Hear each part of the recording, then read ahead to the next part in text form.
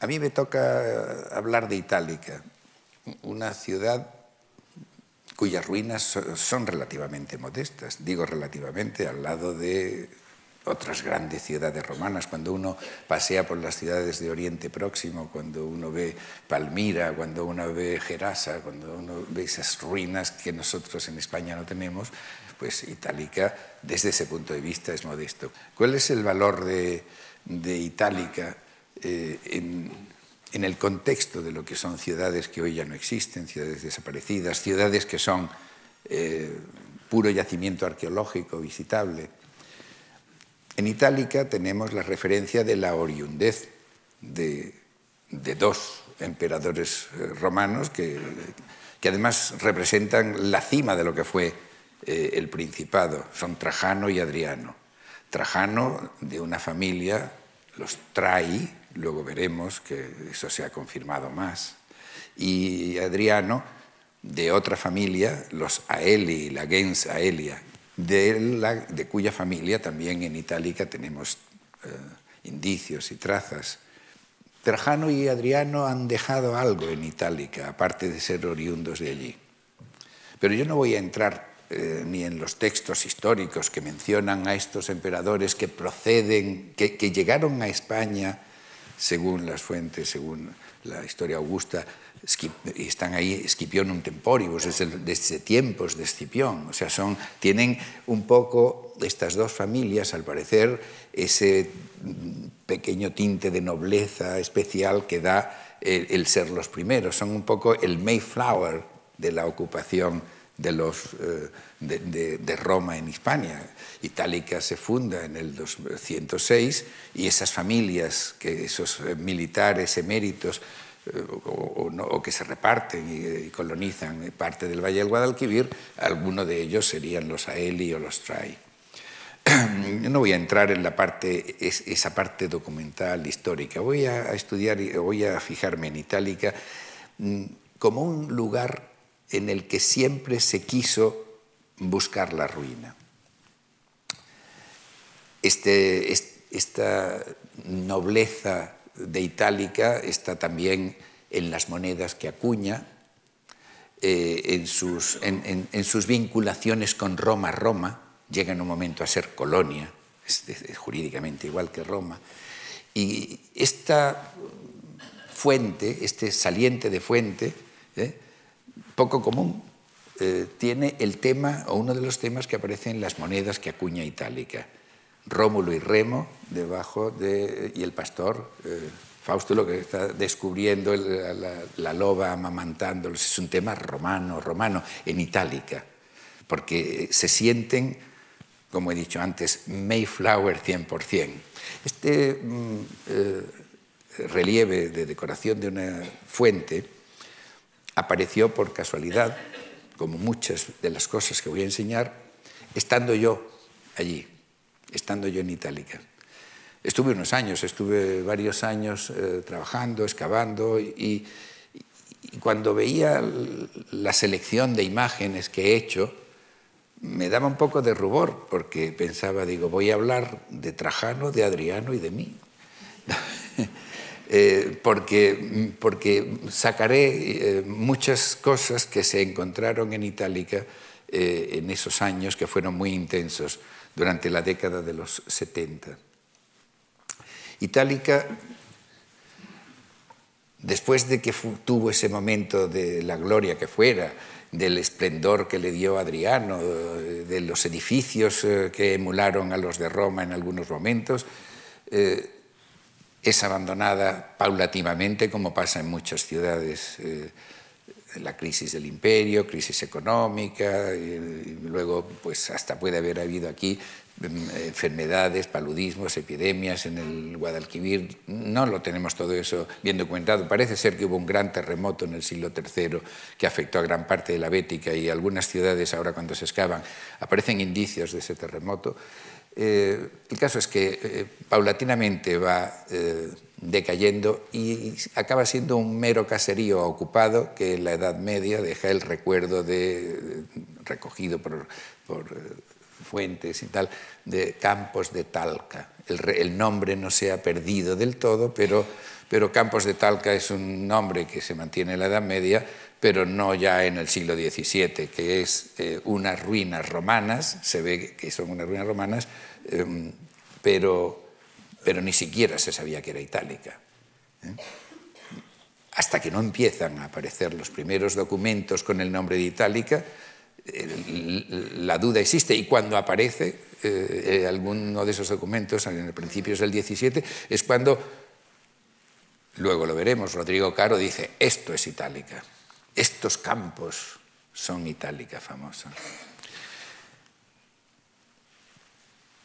Se, veía de la ruina el, anfiteatro. Es, una mole demasiado grande como para quedar sepultada. La gran fábrica, la gran obra del anfiteatro es dibujada, es topografiada eh, en este dibujo de eh, Cuelvis del, de 1600, vemos allí arriba, con el, nuevo, con el nombre con el que es conocida la, ciudad, no sabiendo que es itálica, Sevilla la Vieja, nombre que yo utilicé para un libro que escribí hace unos años sobre eh, la historia de estas ruinas, Sevilla la Vieja como Ronda la Vieja era Cinipo y como otras ciudades que no, que de cuyo nombre se perdió eh, se le ponía el, el, de la más próxima, también Córdoba la Vieja, que era Medina Zahara.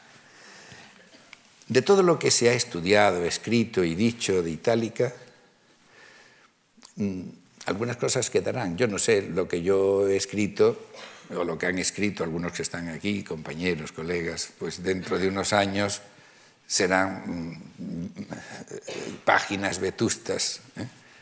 Porque eh, yo eh, al final, después de muchos años dedicándome a las antigüedades, he llegado a la conclusión de que lo que mejor cuadra para las ruinas es o dibujarlas, pintarlas, dibujar el paisaje como hacían en el siglo XVIII, pues Alan Ramsay se va a hacer una expedición arqueológica a la villa de Horacio y se va con pintores, no con pico y pala, se va con pintores. Él lo que quería era que los pintores retratasen el paisaje que había inspirado a Horacio. Lo de excavar y encontrar cuatro ladrillos, eso no tenía el menor sentido ni interés. Eh, y este, Rodrigo Caro, estoy presentando el, retrato de Pacheco que está en el Lázaro Galdiano, Rodrigo Caro hizo eso, hizo una pincelada que esa sí queda, eso sí queda, ¿eh? la poesía. La poesía es más eterna que lo que nosotros escribamos sobre las ruinas.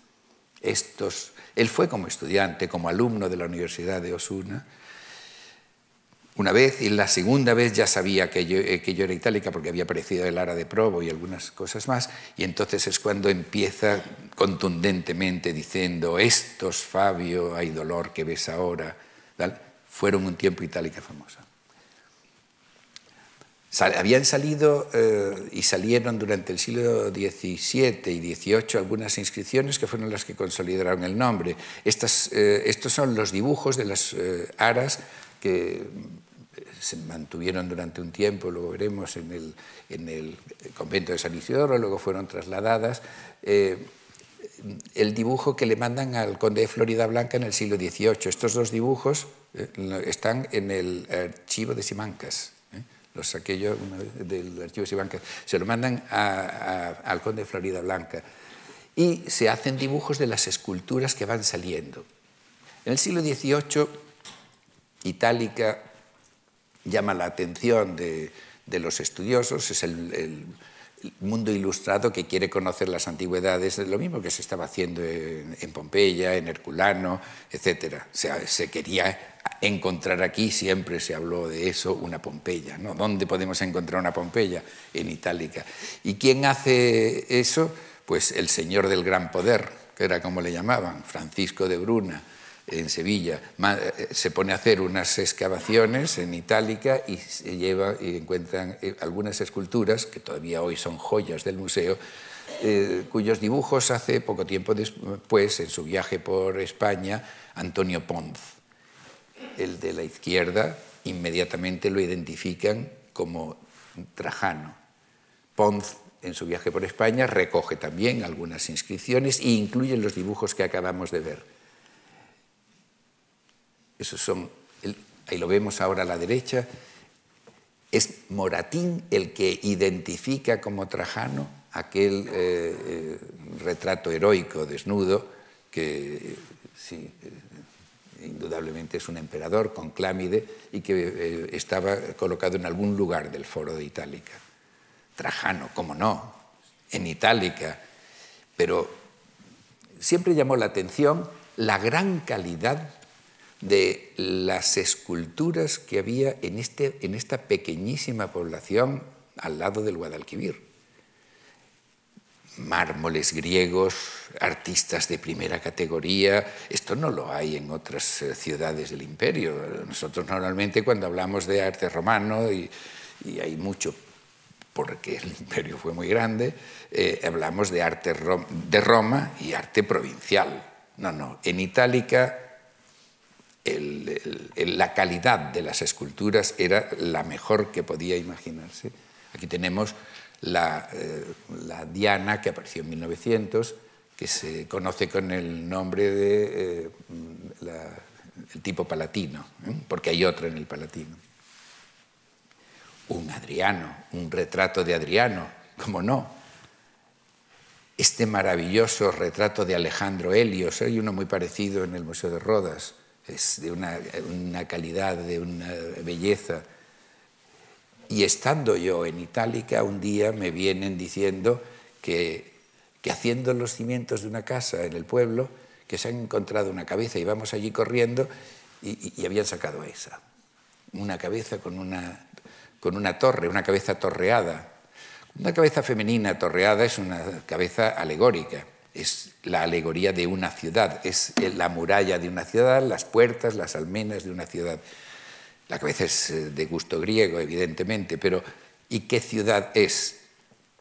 Puede ser una, una ciudad próspera que se usa como modelo, por ejemplo, la, Antioquía, la Tige de Antioquía, la, fortuna, la, fortuna, de Antioquía, o puede ser la mismísima Itálica. Yo, yo, me inclino a que aquí tenemos una personificación femenina a la manera helenística de la ciudad que vamos a, ver.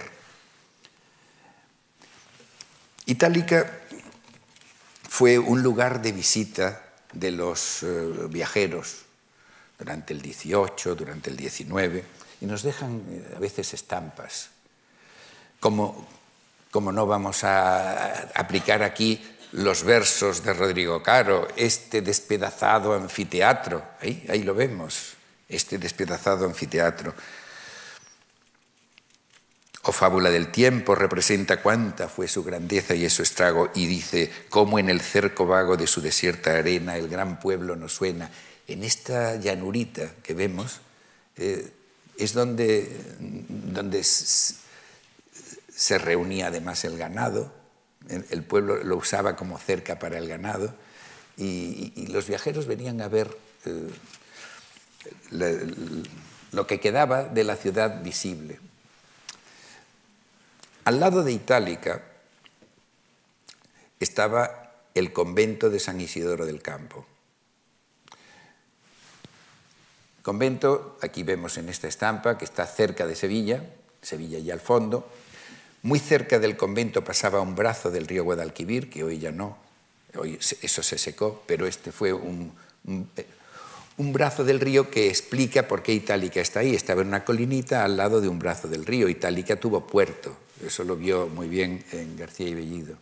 Aquí tenemos a unos monjes jerónimos. Uno de ellos, Francisco de Ceballos, Fernando de Ceballos, perdón, eh, escribió un manuscrito, hizo un manuscrito eh, describiendo todo lo que él había paseado por Itálica. Ese manuscrito se editó por la Sociedad de Bibliófilos Sevillanos en el siglo XIX y, voy a leer un par de párrafos. Este libro estaba escrito en realidad mm, para contraponerlo a todas las teorías, las tesis del conde Volney en las ruinas de Palmira. ¿eh? Y, a veces incluso casi plagia eh, eh, imágenes. Dice, pero mire cómo explica el monje que llega al lado del convento, a la colina donde está el circo que estamos viendo. Dice, llegué al pequeño collado que hoy llaman Sevilla la Vieja, sito a orillas del Guadalquivir, hacia poniente, y después que rodeé su antiguo y grueso muro, siguiendo algunas veces sus vestigios a tientas, me senté sobre las ruinas que más sobresalen y son las del célebre anfiteatro. Ese fue el primer contacto de este monje Jerónimo con las ruinas cuando llegó a este lugar. Empieza a escribir copiando al conde Volney. Dice, me cogió en esta reflexión el fin de la tarde y las aves nocturnas que salían de entre las roturas del edificio me hicieron sentir más el peso de mis reflexiones. Quedéme como transpuesto en ellas por unos momentos y entre tanto veía apostado enfrente de mí a un fantasma triste vestido de una toga larga, sucia y hecha pedazos.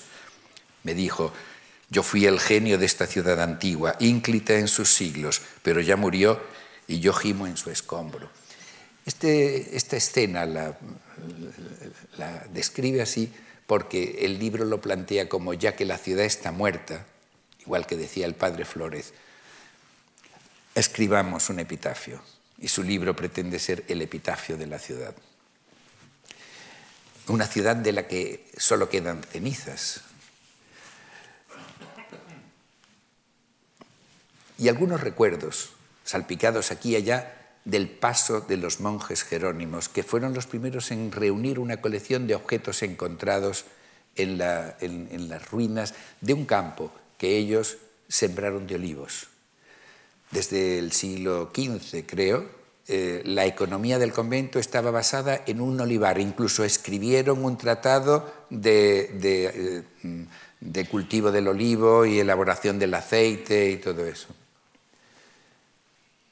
Esta columna, encontrada en un templo pagano, es llevada al patio del convento donde le ponen una inscripción y dicen columna que habiendo sido uh, utilizada en culto pagano, la vamos a dedicar ahora a la Santa Cruz. Y entonces hacen un monumento a la cruz que ven ahí arriba, con un capitel también encontrado en el convento.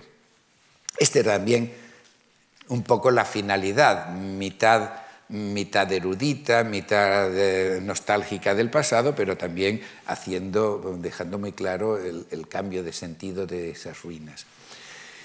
El convento de San Isidoro fue también un poco causa mm, del saqueo de la ciudad, porque en un momento en que hubo una gran avenida en, en el Guadalquivir, la población de un pueblecito que se llamaba Santiponce y que estaba más abajo en el, río, al lado del río donde vimos allí esa estampa, eh, la población tuvo que salir eh, huyendo, subirse un poquito a la altura que representaba el asentamiento de Itálica y esa población fue la que luego construyó sus nuevas viviendas con las ruinas de Itálica y, ha ido ocupando el solar y se ha saqueado mucho por ese motivo. En esa ocupación del pueblo de Santiponce en 1900, aproximadamente, no, 1800, se encuentra este gran mosaico, el mosaico del circo. El dibujo que estamos mostrando es de un viajero francés que hace el viaje por España dibujando antigüedades, que es eh, Laborde. Es un mosaico con temas de musas y circo.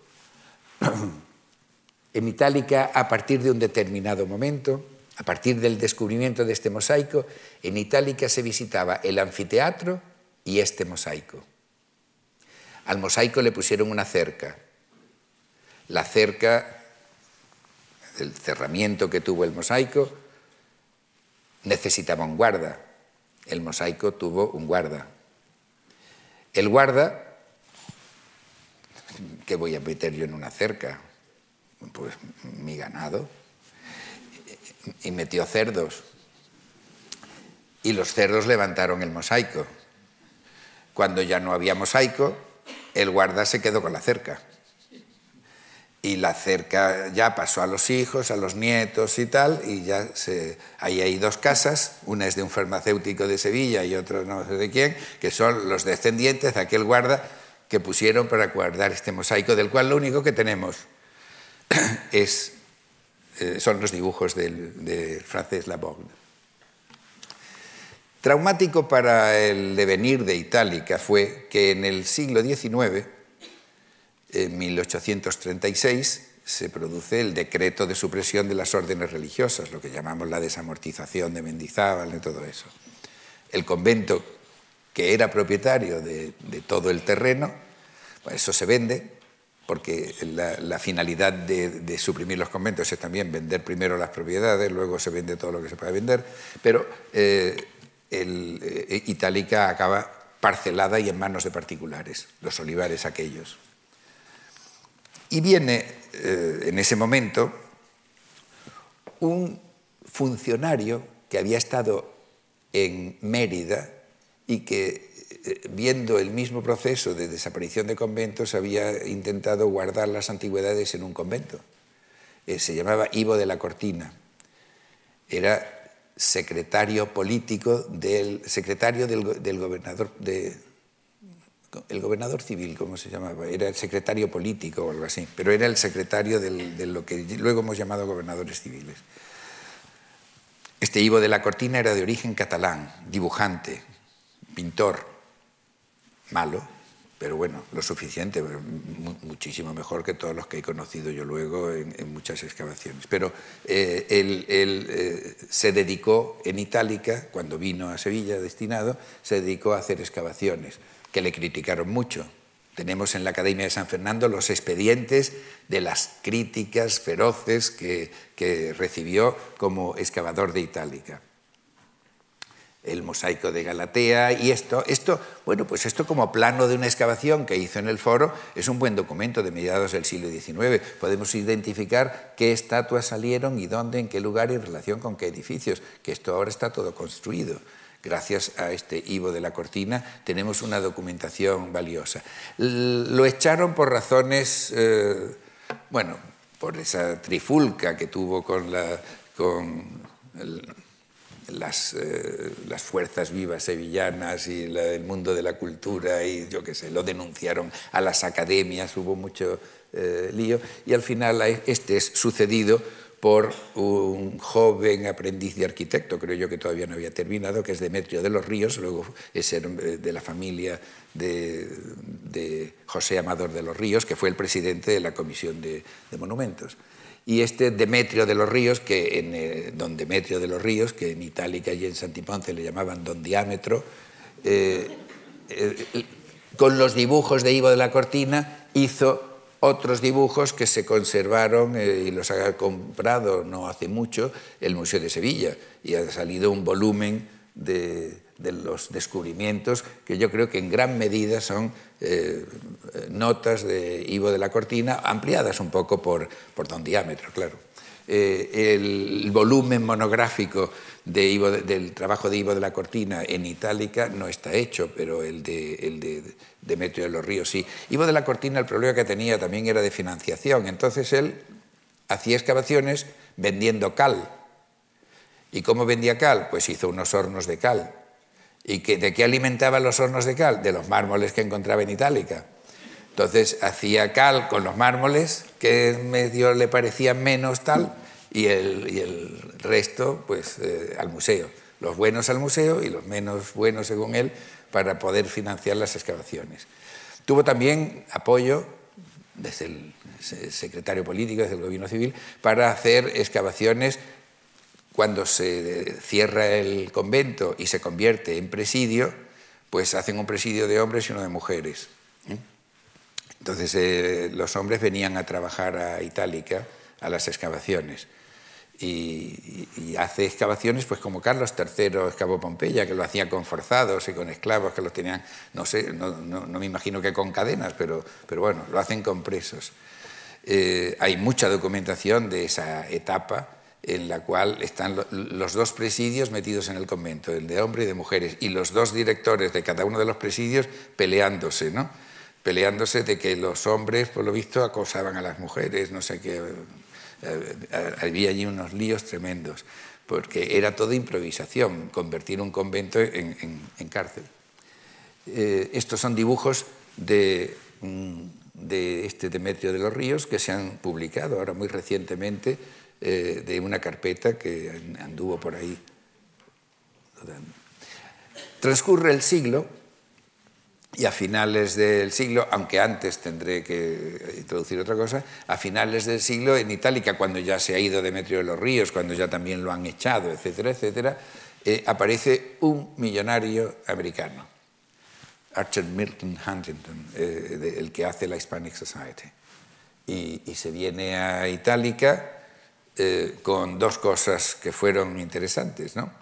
lo trae Engels probablemente, que era otro, y, bueno, los que estaban en Carmona, Bonsor. él trae dos cosas que eran una novedad, que aquí no había mucho. Una, dinero, a expuertas, y la otra una cámara fotográfica.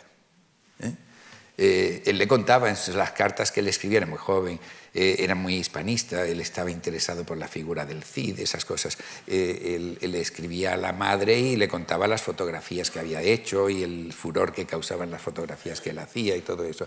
Y de esas fotografías se hicieron dibujos para ser luego publicados, que luego nunca se publicaron, pero eran dibujos de las excavaciones de Itálica. Como ve, desde el punto de vista metodológico no es que fuera una... Pero bueno, había ahí eh, jornaleros trabajando gracias a este señor. Algunas cosas habían ido a parar a Sevilla, este es uno de los dibujos hechos a partir de esas fotografías, las cosas que, habían salido con anterioridad, se habían metido en un convento, ¿Qué convento? El convento de la Merced, que hoy es el Museo de Sevilla, la plaza, bueno, la plaza del museo, pero esto es una instalación de esas. Y, las cosas que iba encontrando a la Hispanic Society. Las excavaciones de la Hispanic Society, eh, vamos, el material y las excavaciones y todo eso, pues eh, está allí, hay mucha documentación, eso lo ha estudiado una de las personas que ha participado en este, en este ciclo, el profesor Vendala, que estuvo aquí anteayer, eh, él ha estado en Estados Unidos con un grupo de alumnos estudiando lo que Huntington eh, había excavado y tal. sobre todo sepulturas, que es donde salen estas cosillas enteras, porque fuera de las sepulturas el material suele salir roto. Al mismo tiempo que estaba Huntington aquí, salen algunas cosas de más valor, pero la saca a lo mejor otro. ¿eh? Este mm, me parece que se llamaba, no sé qué, el de, la teja, no sé qué, bueno, el mote le tenía. Y ahí lo vemos con sus dos trofeos, como se puede haber hecho una, foto con dos ciervos a los pies y la escopeta en la mano. Él, se dedica a excavar por su cuenta y a vender. Y, y encuentra un retrato que a mí me resulta enormemente interesante. Este retrato le llaman el hombre de la verruga porque tiene, efectivamente tiene una verruga, es un retrato muy realista, un retrato muy realista, es de época de Trajano, estilísticamente se puede fechar en época de Trajano, pero yo diría que más. De la misma manera que encontramos los cognómina de la familia de Trajano y de Adriano en Itálica, ¿por qué estos retratos no van a ser de sus parientes? Es que a mí esa boca de labios apretados, yo veo ahí a un pariente, pero vamos, genéticamente muy próximo a Trajano, no es solo el estilo de, la escultura, es que yo diría que aquí tenemos a uno de esos personajes que en época en que su, pariente, en el grado que fuera, alcanza, alcanza, el imperio, en Itálica están ellos también, pero vamos, en lo más alto y con las más de, haciendo las grandes obras de las cuales haremos algunas, veremos algunas cosas. De este momento de Huntington, son las primeras entradas a un sitio de estos. Mira, enseguida ya viene el de fuera y nos da la idea. ¿eh? Y además nos lo pone en varios idiomas. Yo no creo que esto se le ocurriese a los de tal, yo creo que esto eh, son Engels y, y, Bonsor y, Huntington los que proponen hacer y lo ponen en los, tres idiomas que ellos conocen. Eh, hay un episodio de Itálica relacionado con uno de esos grandes descubrimientos, porque en Itálica han salido cosas muy importantes. El AES eh, italiquense, un bronce, está en el Museo Arqueológico Nacional. Este, este, bronce, esto es una cosa extraordinaria, tener un texto jurídico de esos que se ponían en el foro para que todo el mundo lo conociese. Este texto de época de Adriano eh, regula y, hasta el milímetro los precios de los gladiadores y cómo tienen que, los de tal tipo, los de tal otro, cómo tienen que contratar los lanistas, etc.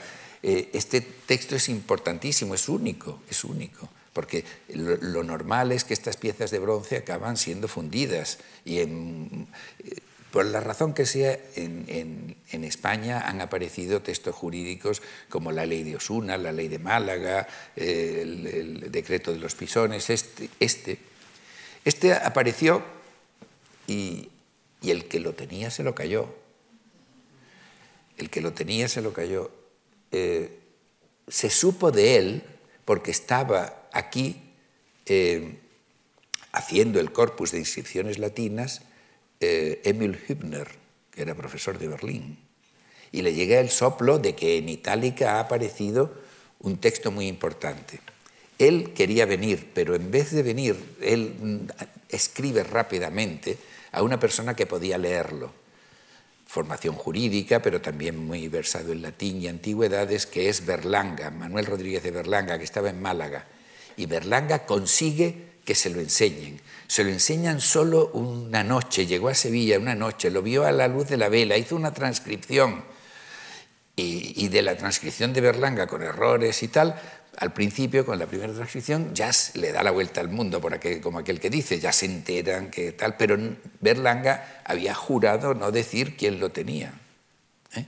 porque se lo querían vender a, los, eh, a Hübner y lo querían vender al extranjero. Y Hübner, eh, en vez de comprarlo, esto muchas veces ocurre, que le ofrecen a un museo extranjero una cosa y en vez de comprar lo que hace es avisarnos. A mí me lo han hecho, por ejemplo, los del Museo Británico, cuando yo he estado en el Museo Arqueológico Nacional. Pues Hübner lo consideró tan importante este bronce que pidió una entrevista con Cánovas del Castillo. Se la dieron y le dijo, aquí hay que hacer algo, esto no puede salir de España, esto es importantísimo.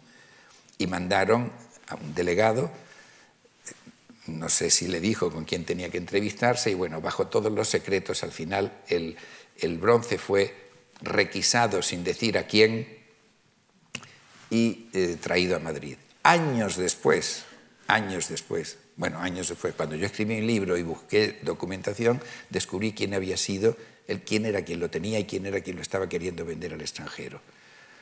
De nombre Ariza y era el secretario de la Comisión de Monumentos.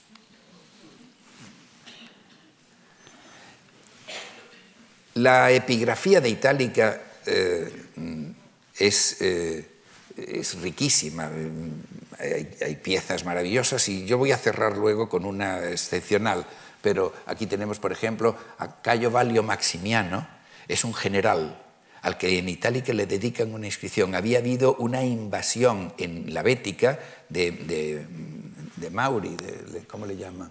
Eh, bueno, y de, del norte de África. Había habido una invasión de norteafricanos en la Bética y entonces los reprimen militarmente y, eh, le cuesta mucho y, le ponen una eh, eh,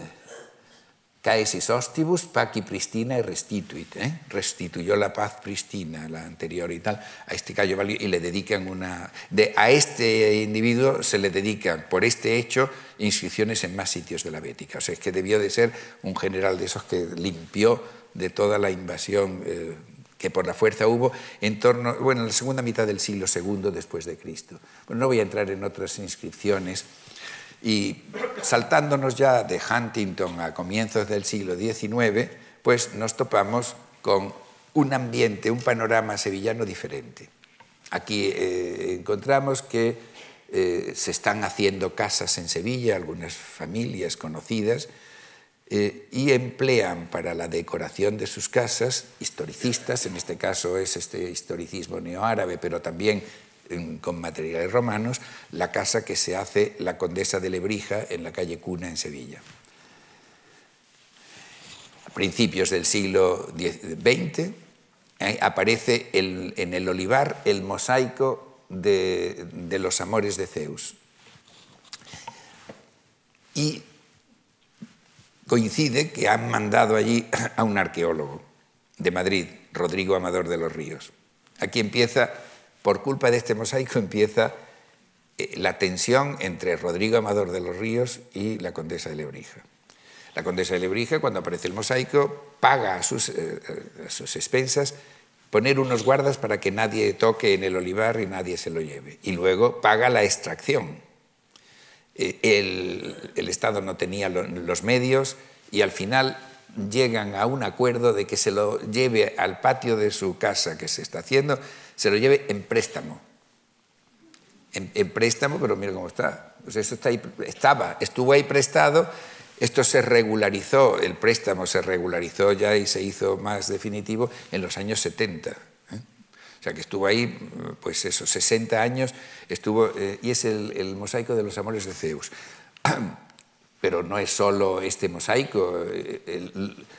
se hizo habitaciones enteras con antigüedades, estilo pompeyano, estilo tal, mosaicos, esculturas, todo, todo lo que estamos viendo, todos los pavimentos que estamos viendo procedían de Itálica. Todavía yo he conocido, cuando yo estuve en Itálica en el año 74, gente que había trabajado, un viejo que de jovencito había trabajado y había vendido cosas a la condesa de Lebrija y me decía, le vendí una estatua y, me compré una mula.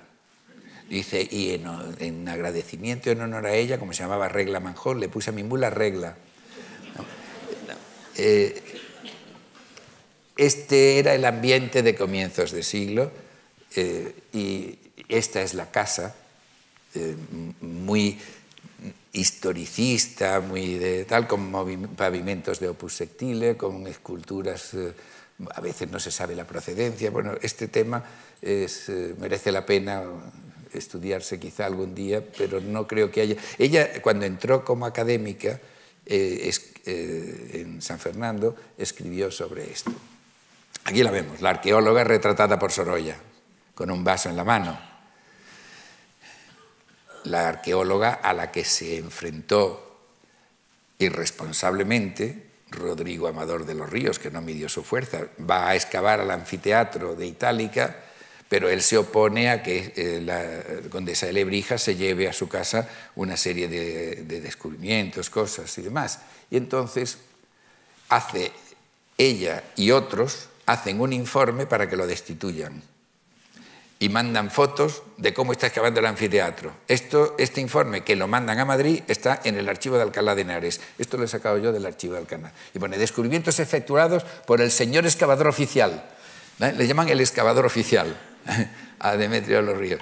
Y, piden que lo echen. Eh, daños producidos en una de las puertas del anfiteatro, eh, no sé qué, y, lo mismo por el excavador oficial, ¿no? Lo pone por ahí.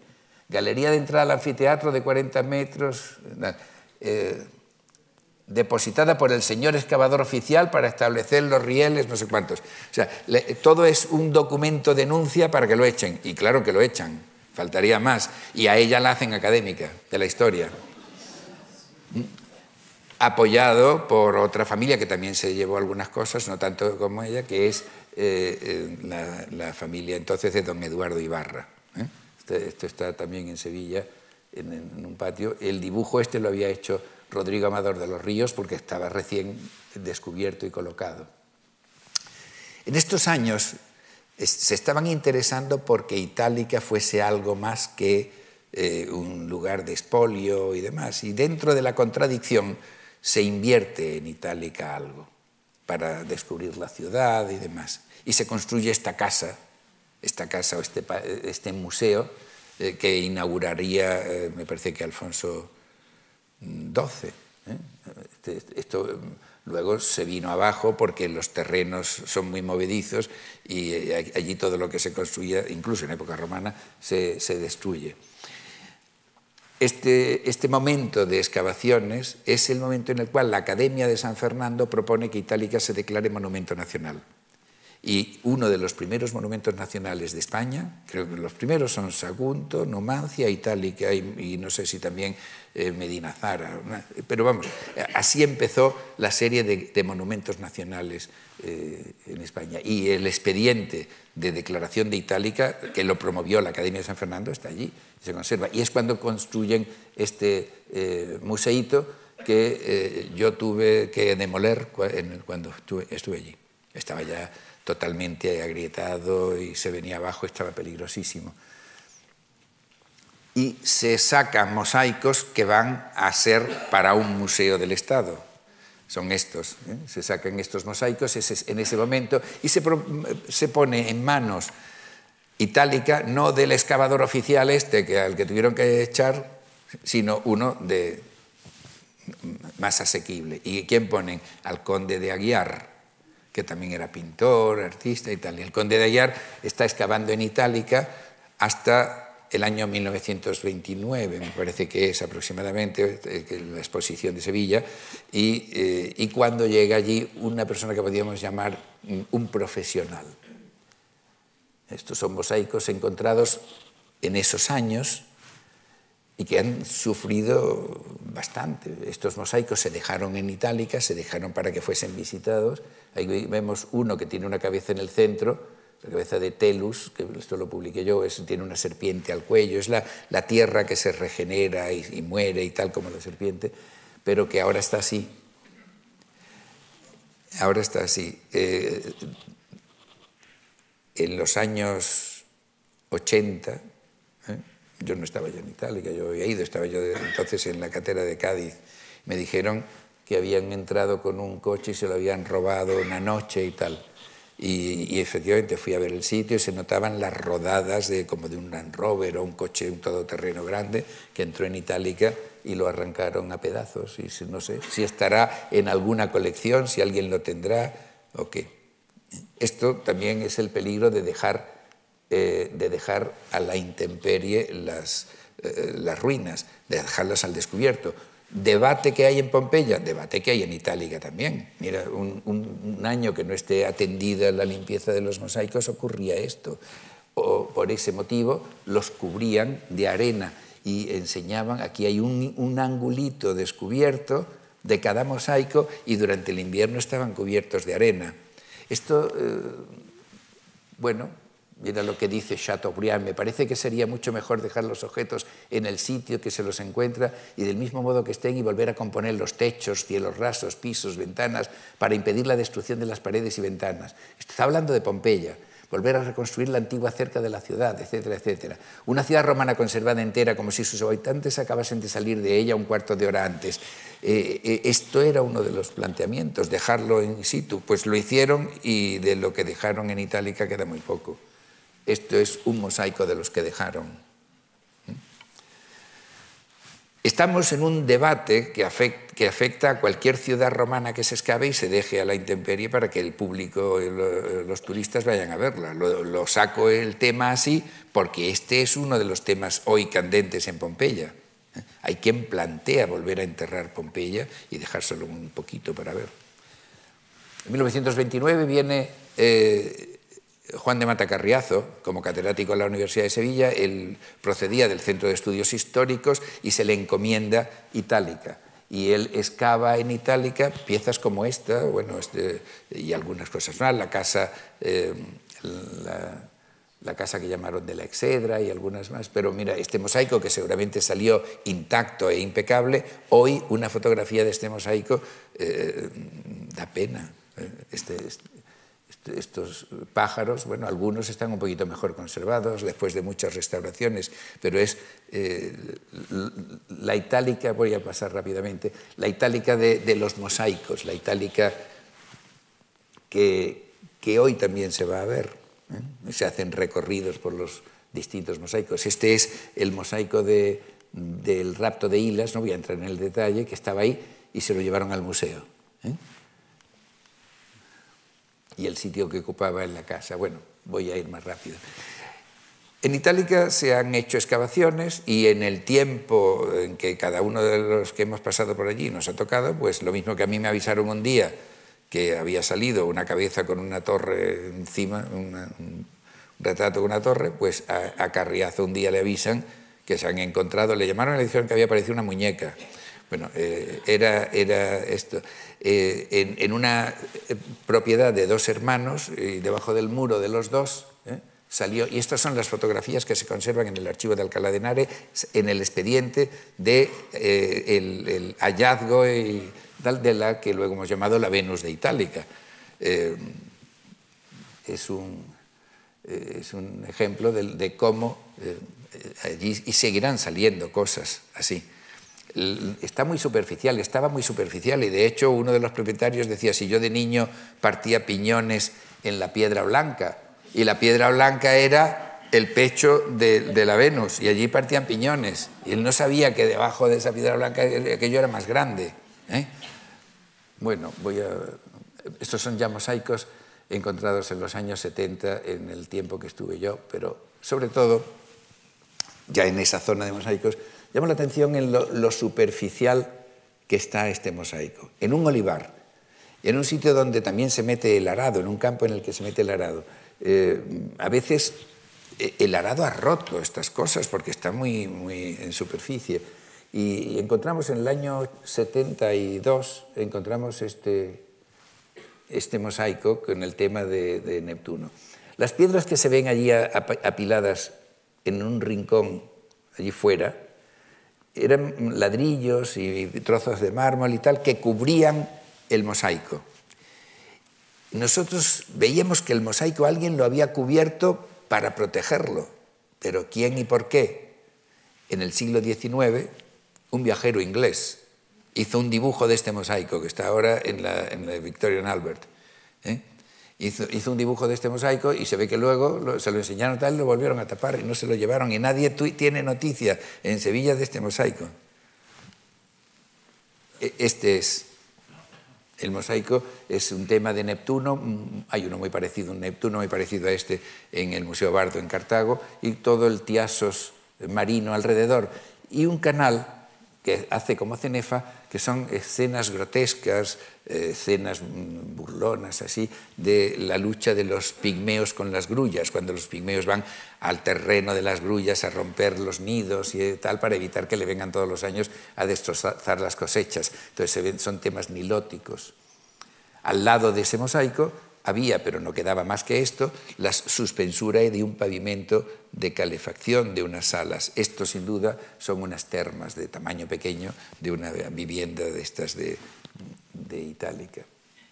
Tuve eh, la idea, y lo hablé con el, había sido mi profesor, Carriazo, eh, de unir la zona que había excavado él y el conde de Aguiar con unas termas que se habían excavado también en el siglo XIX. Las termas estaban en medio del olivar, pues vamos a hacer esta calle. Y hicimos una, excavación para unirlas y allí encontramos eh, una casa que nos llamó la atención y la, la, excavamos y se limpió. Salieron, a ver, uno, dos, tres, cuatro, cinco, seis mosaicos en esta casa. De esos mosaicos, el más, eh, este es el momento en el que está apareciendo y lo estamos extrayendo, eh, este mosaico, una vez extraído, se ve lo que es el asentamiento del mosaico, porque ahora, estudiamos todos los niveles debajo y lo que salió. En, el de Neptuno, por ejemplo, salió una moneda de Adriano debajo. Eh, y el mosaico es esto. Es un mosaico con los siete planetas. El tema de los siete planetas, bueno, que, tiene, que da mucho juego, ¿eh? con Venus con corona de oro en el centro y alrededor está Helios, Luna, Marte, Mercurio, Júpiter y Saturno. Son, son, también, son los días de la semana, lunes, martes, miércoles, jueves, eh, son los siete planetas. Aquí tenemos Helios, allí Marte, aquí Mercurio y allí Venus. Bueno, por poner un ejemplo. Mosaicos como estos hay otros en otros sitios y este es el Bardo, en el Museo Bardo. La diferencia es que aquí tienen a Saturno bueno, es que en el norte de África tiene un culto muy especial Saturno, eh, tienen a Saturno en el centro. Bueno, los temas de los mosaicos, sobre esto se hizo una tesis. El anfiteatro y el teatro, los edificios de espectáculos.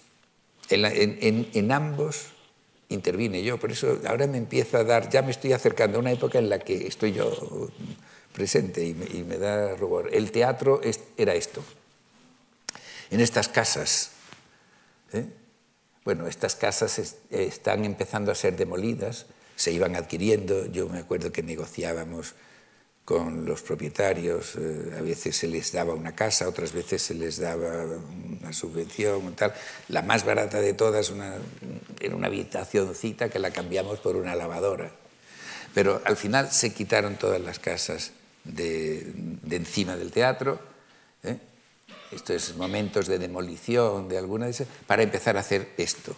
Esto se hizo en el año 71, 72.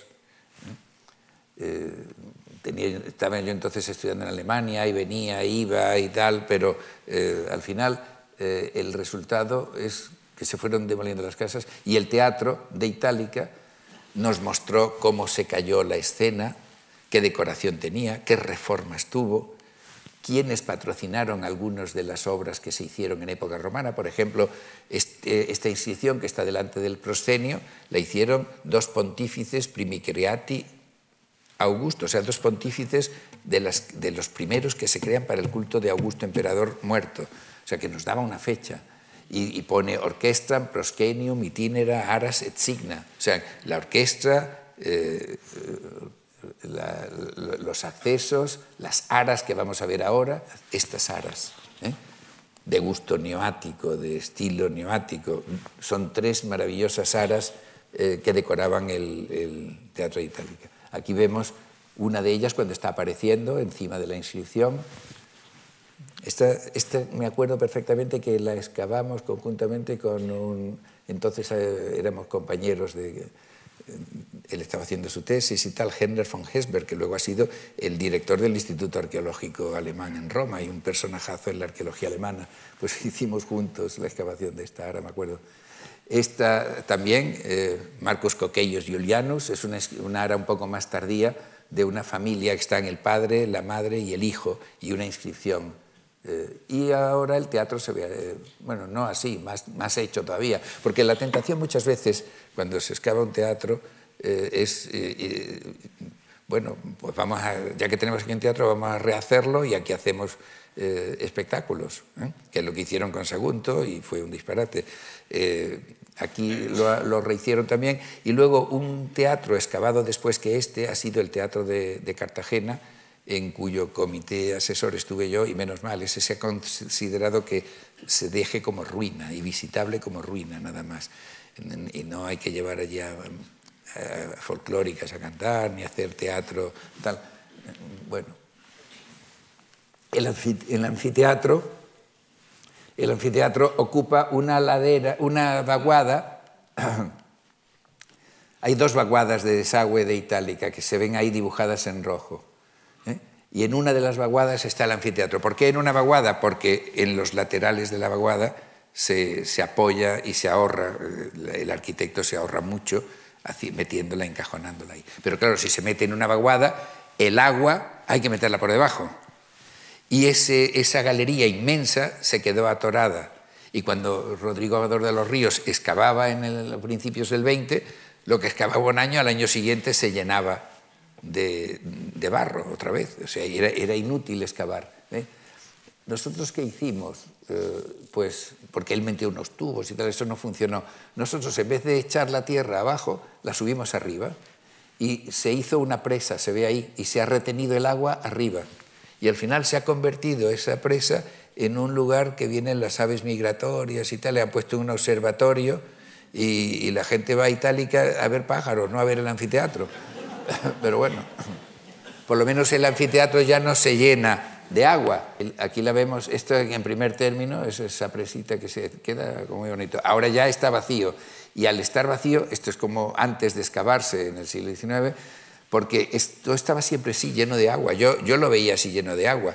A mí me contaban los guardas de Itálica que una vez que se representó Antígona, que la verdad, quien representara Antígona en un anfiteatro no sabe lo que es un anfiteatro, pero bueno, eh, eh, representaron a Antígona aquí en el, en el eh, anfiteatro de Itálica y tuvieron que poner, era en verano, tuvieron que poner a cuatro guardas con una bolsita, cada uno una bolsita llena de, de chinitas.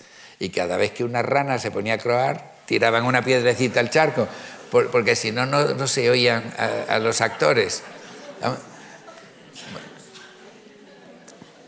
Limpio eh, lo que es la fosa bestiaria, aquí sí, desde el punto de vista documental, es muy interesante que se ve muy bien cómo es el suelo. Es un suelo de ladrillo donde se ven el sitio donde estaban emplazadas las jaulas de hierro de los animales, ¿eh? las cárceles. Eh, eh, eran de hierro y además quedaban trazas y demás. Pero lo más interesante es que en esta excavación salieron los vestigios de qué animales se usaron. Aquí hablamos de leones y de tal, pues, que debía ser carísimo traer un león. las venaciones que se hacían, se hacían, eh, aquí aparecen astas de ciervos, colmillos de jabalí y cuernos de toro. O, huesos de toro. O sea, los tres animales documentados aquí en esta, en, esta fosa bestiaria son esos. Y bueno, pues lo que da el país. ¿no? Eh, me interesó mucho en este tiempo conocer las trazas. Yo ahora me identifico con los ingenieros de, Pompeya, a quien, quien, Carlos III le decía, no habéis tantas calles, meteros en las casas, que es donde salen cosas. ¿Eh? y le escribía cartas así. Pues yo, ahora que lo veo, digo, pues yo no le hubiera hecho caso a Carlos III, porque lo que queríamos era saber cómo era la planta de la ciudad, cómo eran las calles. y muy esporádicamente nos metimos... Eh, Mira, esto es una carta de Carlos III, dice, pero siento que esas excavaciones no hubiesen producido nada y en cuanto a su escasez de tiempo a esta, y en cuanto a su escasez de tiempo a esta parte, ten paciencia si con mi acostumbrada ingenuidad te digo mi parecer y es que procede del empeño tomado en querer descubrir las calles y sacar la planta y no en buscar los edificios como se hacía en mi tiempo, con lo cual también se conseguía sacar la planta, aunque más lentamente. Y así mi parecer es que se deban proseguir y yo me alegraría poder dirigirlas y vivir tanto tiempo como sería necesario para acabarlo todo como se debe. Es decir, eh, bueno, Carlos III no quería calles, quería cosas. Pero nosotros eh, hicimos eh, esto, limpiar calles eh, y, contribuir así al trazado, a conocer el trazado de la ciudad. Por cierto, árboles, eh, esos árboles en medio de la calle yo no los hubiera puesto nunca. Otro de los debates de la conservación de esta y de otras ciudades, que lo vamos a ver, está, aquí vemos el emplazamiento de una fuente, esto es para esto, ¿no? Una fuente, no queda nada. Las calles se les había quitado el pavimento de las aceras, que era de los particulares. Esto es una, en una zona donde había más acumulación de tierra, que la llamaban la Cañada Honda, la calle en muy, buen estado de conservación. Y debajo de estas calles, por eso está eso así abombado, va la galería por la que se puede incluso andar. ¿eh? Es de, un tamaño de que, cabe en algunas de ellas, cabe una persona andando cómodamente. Voy a pasar con más rapidez. Si, si nosotros siguiésemos esta calle, que es en la ciudad que llaman nueva, la, ampliación de la ciudad de Adriano. Topamos con la ciudad antigua que está debajo del pueblo de Santiponce, o sea, nos meteríamos en el foro antiguo de la ciudad. Y allí lo que hay es, es esto. Eh, camino de, en esta llanura, eh, lo que hay es esto. Lo que queda es la traza de lo que fue un gran edificio. Este es el Traianeum, excavado por la profesora Pilar León que se han llevado hasta los cimientos. Y era un edificio de mármol. Eh, bueno, espero que no haya sido Ivo de la Cortina haciendo cal para pagar sus excavaciones, pero un edificio de mármol que, eh, que era de los más espectaculares que hubo en la, en la Hispania romana. Mide cerca de 100 metros, ¿eh? el cuadro ese donde estaba el pórticus, el edificio este. Una cosa parecida a este es el de Pérgamo, un edificio como el Trajaneo de Pérgamo. Árboles, árboles, estos son árboles en Pompeya, que yo también no los hubiera puesto en el foro triangular. Estos son árboles en, una ciudad, en, Túnez. Pero mira, los árboles están vivos. A mí, yo he plantado árboles en Itálica con el que entonces era catedrático de, de jardinería y cosas de esas en la Escuela de Arquitectura, que era Juan Aizpuru.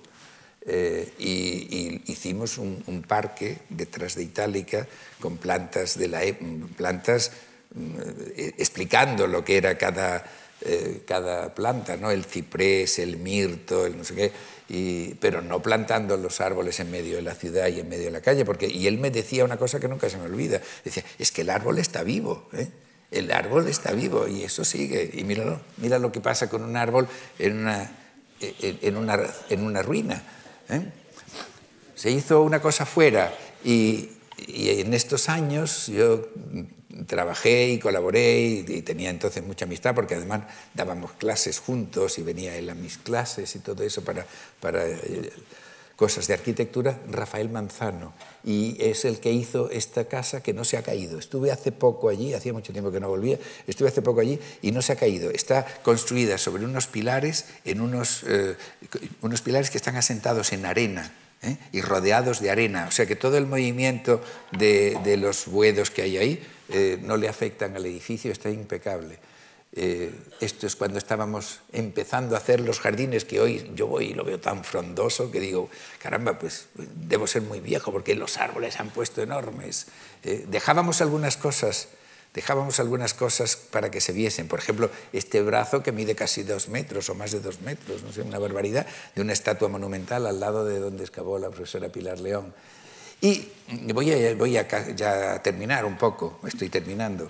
Eh, hablé de la epigrafía, hablé de los, empecé con Trajano, pues vamos a seguir. Aquí tenemos una inscripción que salió hace unos años, yo ya no estaba allí, con el nombre del bisabuelo o el abuelo o algo así de, de Marco Ulpio Trajano. Se llamaba Marcus Traius.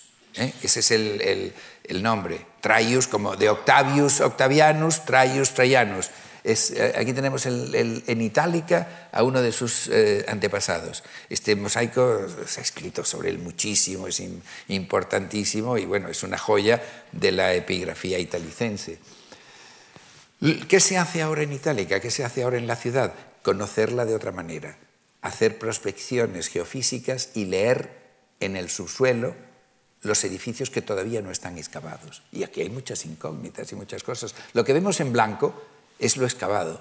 Lo que vemos en negro es lo que ha leído el, georradar. Y ahí se ve que hay una muralla que luego se amplió, pero había una muralla. O en un momento más tardío se comprime o, con anterioridad estaba ahí la muralla. Luego al lado de las termas hay una gran, llaman palestra, ese cuadrado grande que hay ahí. Todo esto es... Eh, y ahora se va a hacer otra eh, un proyecto más afinado, ¿no? porque se había hecho a no sé qué eh, distancia, ahora tienen ya unos georradares multicanales que van con muchísima precisión y tal, y van, a ver mejor todo esto. ¿eh? Estos son cosas publicadas hace unos años de las tecnologías con las que ahora se está intentando estudiar una ciudad de la que no es que se espere sacar mm, grandes cosas, porque bueno, epigrafía y algunas cosas eh, interesantes estarán en la parte más antigua, no aquí, pero bueno, eh, esta es la zona estudiada, esta es la zona estudiada y lo que se va a hacer. Yo, como síntesis, y esta sí ya es la última y con esto termino y con esto creo que he cumplido el, tiempo previsto, eh, yo he sintetizado mi paso por Itálica en este dibujo que me hizo mi hija, pero bueno, lo hicimos juntos porque es un dibujo que cuando me preguntan, ¿y esto de cuándo es? Digo, esto es todo, esto es todo, porque hemos puesto con la fotografía aérea de lo que quedaba, fotos aéreas antiguas, hemos puesto los olivos en su sitio. Esto es lo que quedó o lo que se puede documentar a ciencia cierta que hubo de los olivos de los monjes. Eh, la ciudad en rojo es el Santiponce del siglo XIX, 18, principios del 19, cuando mm, suben la ciudad arriba a la colina, el primer poblado un poquito ya expandido, principios del 19. La, la, muralla la hemos colocado y debajo de los olivos, como si se transparentasen todo lo que hemos ido conociendo, bien por excavaciones, bien por, eh, por georradar. Con lo cual, este mapa sintetiza, que este, este dibujo sintetiza eh, una itálica que no es así, o que fue así, pero, pero que no es de ninguna época. Eh, pero eh, es para resumir un poco lo que hemos ido aprendiendo de la ciudad y que antes ni veíamos, ni sabíamos, ni conocíamos.